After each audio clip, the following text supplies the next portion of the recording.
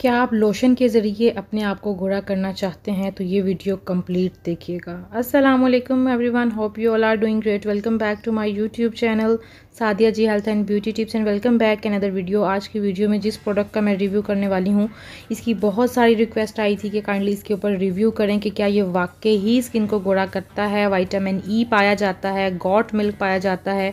तो क्या वाकई ही ये आपकी स्किन को बारह घंटे तक नरिश रखता है, आपकी स्किन से ड्राइनेस को ख़त्म करता है? तो कंप्लीट वीडियो देखिएगा ताकि आपको बात जो है वो कंप्लीट समझ आ सके।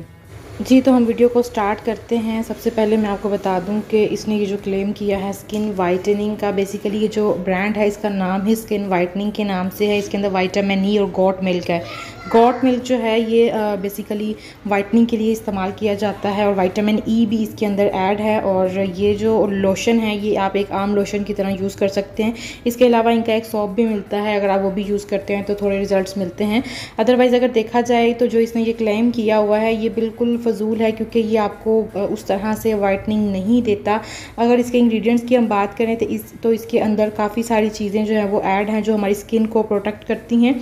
तो इसको एज ए लोशन हम यूज़ कर सकते हैं तो इससे ये है कि आपको मॉइस्चराइजिंग जो है वो मिलती है, आपकी स्किन जो है वो काफ़ी हद तक मॉइस्चराइज रहती है। जैसे ही आप इसको अप्लाई करते हैं, इसकी जो फ्रेगनेंस है वो बहुत ही ज़्यादा अच्छी है और थोड़ा बहुत ये आपके कलर को फेयर कर देती है अगर आप इसके साथ इसका सोप भी यूज़ करते हैं। इसकी कंसिस्टेंसी जो है वो कुछ इस तरह की है, जैसा कि मैंने आपके साथ अभी शेयर किया है। इस तरह से ये थोड़ा कंसिस्टेंस है, आप इसको गॉट मिल्क क्योंकि उन्होंने कहा है तो वैसी ही थोड़ी फ्रेगनेंस इसके अंदर आ रही है। तो अगर आप इसको इस तरह से यूज़ कर लेते हैं तो आई थिंक सो ये आपकी स्किन को थोड़ा सा मॉइस्चराइज़ कर देती है, जैसा कि आप देख सकते हैं थोड़ा सा डिफरेंस देख सकते हैं मेरी उंगलियों के अंदर। और मेरी तरफ़ से ये रिकमेंडेड है, काम लोशन की तरह है, अगर आप इसको इस तरह से यूज़ कर लेते हैं तो ये बहुत ही अच्छा है। और इसको यूज़ करने से आपकी स्किन जो है, वो थोड़ी बहुत ब्राइट हो जाती है, लेकिन ये जो इंस्टेंट ग्लो है, ये नहीं आपको देगा। पूरी अगर आप ये बोतल यूज़ करेंगे, एक, पूरे एक महीने तक कंसिस्टेंसी के साथ, तब जाके इसको उसके थोड़े बहुत रिज़ल्ट जो हैं, वो आपको मिलेंगे।